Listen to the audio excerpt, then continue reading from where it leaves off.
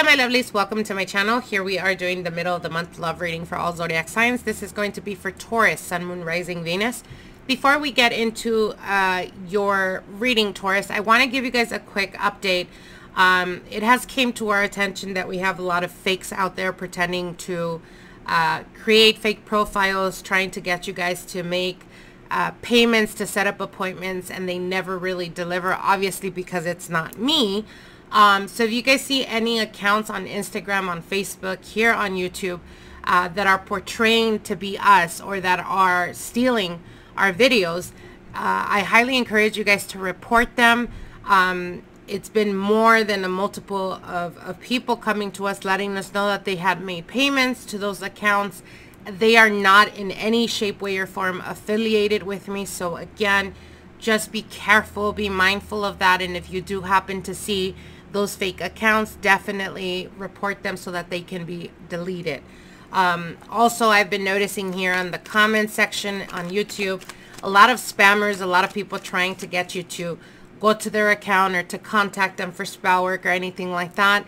I am in no shape, way, or form, like I said, affiliated with none of those bastards. So my advice is report those comments. Um, I was really thinking of shutting off my comments because I see this like it's getting out of hand. But I feel that it's unfair to you guys when you guys want to comment or, you know, speak your mind on here. Um, so I'm holding back on that. But again, like I said, if you see those comments, please don't fall for that shit. All right, let's get into your reading, Taurus. Let's see what Spirit has for you guys in regards to this connection or this relationship. Let's see what's going on with you guys in regards to love and romance. Oh, whew, okay. Oh. All right, so we're starting off a bit heavy, Taurus. We have the Three of Swords, the Eight of Cups, the Hanged Man. There's a lot of waiting going on here. Um, all right, so the Three of Swords is indicating to me that you're dealing with a situation where the person has let you down on multiple occasions. You continuously keep trusting them, keep hoping for the best, or keep hoping that things will become better. Um, but again, with the Three of Swords, there's almost like a refusal of healing. So this could indicate um, holding on to past experiences when it comes to relationships it could have been that you really went through hell and back with a specific person. Um, and although you may feel like you're ready to embrace a new beginning and move on from that energy, there is still some type of resistance uh, within you, whether it's on a conscious level or subconscious level. So what they're telling you here is the Three of Swords, I feel it more on the energy of reverse. So reverse is the pain uh, healing, healing from the pain or the swords coming out of the heart. So again, what they're telling you is stop vibrating from this place of uh, fear. The fear of getting hurt, the fear of allowing people to get too close to you because you're scared that they're going to put you through the same hell that you've experienced in the past. Now, for others of you, you are in fact dealing with the person that has let you down. There is a desire or a want uh, to try to save this connection or to try to hold on to this connection. But what they're telling you here with the Eight of Cups, and this is in the position of the person that you're dealing with, they've already emotionally moved on from this connection. So the Hanged Man is indicating feeling like you need to sacrifice, uh, but it also speaks about complacency. So what they're telling you here, Taurus, is that it's time to embrace a new beginning, move on from any person that is toxic to you, anyone that is keeping you from progress, anyone that is lying to you or that is making you feel belittled. Uh, a person that usually talks down to you is the type of energy I'm sensing here. And what they're telling you here is that it's time. It's time for you to have the courage. It's time for you to pull away from that energy and to really believe in yourself above everything, Taurus, above anything.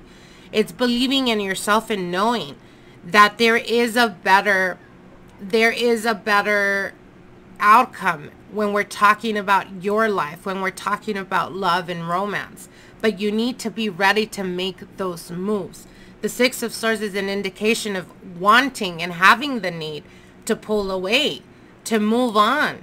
With the Eight of Cups and the Six of Swords, it's time. It's time for you to you know, expand your wings, Taurus. It's time for you to stop dealing with people that constantly make you feel like you have to continuously keep sacrificing certain parts about yourself to make these relationships work out.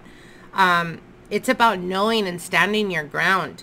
Um, now, what they're also saying here is, again, for those of you guys that, you know, keep saying you're ready to embrace new love, you're ready to find love, um, you're ready basically for your happiness. What they're telling you here is that you need to shift your way of thinking in order to be able to embrace that type of energy. There is a change that needs to happen in regards to how you view relationships. So for some of you guys, it could be um, that through all the difficulties you've been through, you feel like when it comes to relationships, like they're not easy. And obviously, nothing worth uh, nothing worth having is going to come easy. But it doesn't mean that the whole relationship is going to be difficult or that the whole relationship is going to be chaos. Uh, learn to put your foot down. Learn to know uh, when to say enough is enough and to walk away. Because I feel that for a lot of you here in this message, what they're telling you is you hold on to relationships far too long it's like you don't know when to let go or you don't know when to give up, when to say enough is enough. And it comes at the expense of losing yourself in relationships. So for those of you guys that have been single for a very long time, uh, it could be because you felt like you sacrificed so much that there's a part of you that wants to embrace a new beginning, but at the same time, there's still fear connected to that.